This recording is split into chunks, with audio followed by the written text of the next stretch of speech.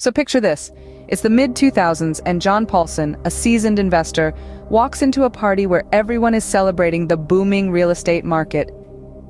Yet while the crowd sees sunshine, he senses a storm brewing.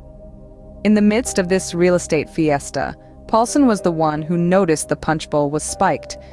Risky subprime mortgages were being passed around like party favors, repackaged into so-called high-grade investment products. But Paulson wasn't fooled.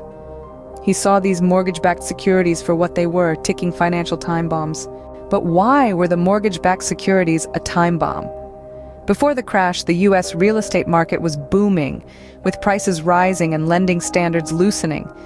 This led to an increase in subprime mortgages, which were loans given to borrowers with poor credit histories. These mortgages were then packaged into mortgage-backed securities, MBS, and collateralized debt obligations, CDOs, which were sold to investors. The ratings agencies often gave these securities high credit ratings, making them appear safer than they actually were. Now Paulson wasn't just playing a hunch. He had the foresight to see the iceberg in the path of the Titanic. He predicted that when the adjustable rate mortgages started resetting, a cascade of defaults would follow. So how did he react? He decided to bet against the party.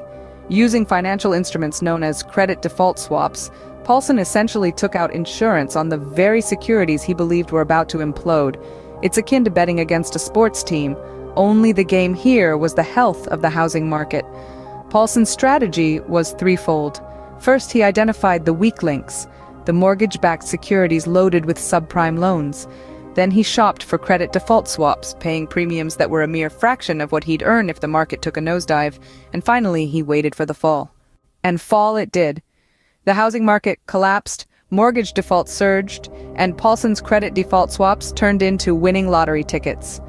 When the dust settled, he found himself atop a pile of cash, with his fund's profits exceeding $15 billion. While the rest of the financial world was left in shock, Paulson was probably wondering where to dock his new yacht. So what's the moral of this story? It's not just about one man's financial victory, it's a warning about the dangers of herd mentality and the misuse of complex financial instruments. It's a testament to the power of contrarian thinking in a world where it's all too easy to follow the crowd. John Paulson's tale serves as a reminder that sometimes the most profitable move is to swim against the tide, armed with insight and a well-thought-out strategy.